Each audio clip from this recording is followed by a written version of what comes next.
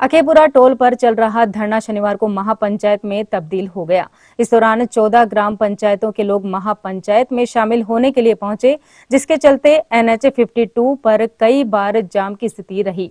वहीं मामले की गंभीरता को देखते हुए मौके पर पुलिस बल भी पहुँची और अधिकारियों ने टोल प्रबंधन के साथ वार्ता की। इस दौरान सीकर एसडीएम जय कौशिक सीओ ग्रामीण रमेश माचरा ने टोल प्रबंधक और संघर्ष समिति के प्रतिनिधियों के साथ वार्ता की, लेकिन शाम तक कोई नतीजा नहीं निकला। इस दौरान महापंचायत को सांसद अमराराम, कांग्रेस जिलाध्यक्ष सुनीता गठाला, धर्मेंद्र गठाला, जेपी पूनिया, सुरेंद्र फुलवारिया सहित अनेक जनप्रतिनिधियों ने संबोधित किया। संघर्ष समिति के सुरेंद्र फुलवारिया ने बताया कि अखेपुरा टोल के संचालक स्थानीय लोगों से टोल की वसूली कर रहे हैं, जो सरासर गलत है।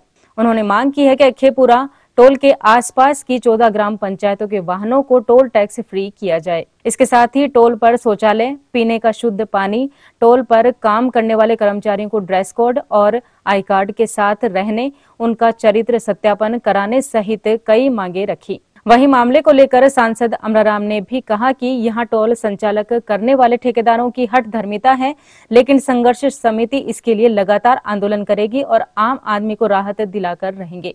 उन्होंने यह भी कहा कि अखेपुरा टोल के पास की 14 ग्राम पंचायतों के लोगों को राहत दी जानी चाहिए, क्योंकि इन ग्राम पंचायतों में रहने वाले लोगों के आसपास में खेत है, काम है, स्कूल, कॉलेजों में आवागमन रहता है। ऐसे में वे दिन में कितनी बार टोल देंगे और क्यों दें? उन्होंने कहा कि सरकार को इस ओर ध्यान देना चाहिए, नेशनल हाईवे अथॉरिटी को कार्रवाई करनी चाहिए। अखेपुरा टोल संघर्ष समिति के सदस्यों ने बताया कि 14 ग्राम पंचायतों के ग्रामीण ने टोल टैक्स फ्री करने की मांग की थी। इसके बाद Eagle Infra India Limited company द्वारा संचालित अखेपुरा टोल प्रबंधक कमेटी एवं ग्रामीणों के बीच 24 अप्रैल को स्थानीय वाहनों को छूट देने का समझौता हुआ था। लेकिन एक माह का समय बीत जाने के बाद कर्मचारियों ने ग्रामीणों से दोबारा टोल टैक्स लेना शुरू कर दिया। टोल प्लाजा के कर्मचारी लगातार ग्रामीणों को गुमराह कर रहे हैं। और कह रहे हैं कि टोल टैक्स में किसी को भी कोई छूट नहीं मिलेगी।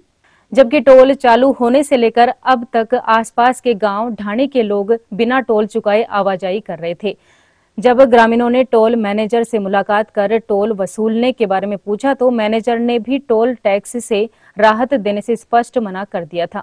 ग्रामीणों का कहना है कि जब तक टोल प्लाजा से 20 किलोमीटर दूर तक रहने वाले ग्रामीणों का टोल टैक्स फ्री नहीं किया जाता तब तक धरना प्रदर्शन जारी रहेगा। बेपुरा नांगल गोविंदपुरा मंडा मदनी पड़ासरा अड़ोदा सांगरवा सामेर श्यामपुरा गोटरी इन तमाम जो ग्राम पंचायतें हैं इनके सभी लोकल वाहन है वो बंद की ही बई अभी जोता का गाँव की एक ही दो होगी वो तो किसी की होगी। अजी पंचायत की आपा का। तब तक फ्री निकलेंगे और कोई नहीं। चार टायर की जो गाड़ियाँ हैं छोटी गाड़ियाँ।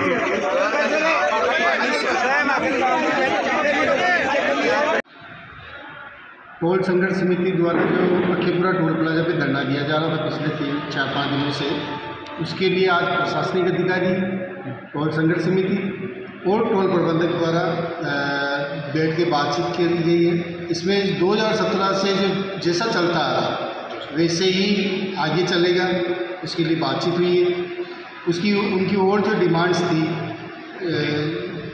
पेयजल वगैरह की टॉयलेट्स वगैरह की, आईडी वगैरह की, यूनिफॉर्म की, वो हमने लगभग लगभग तो क्लियर है, हो चुकी है पूरी। कुछ एक बाकी है, उसके लिए दो पाँच, दस, पंद्रह दिन का हमने टाइम मांगा, उसमें हम उसको बराबर क्लियर कर देंगे, कोई पूरी कर देंगे। यही आज हमारा इसके लिए समझौता है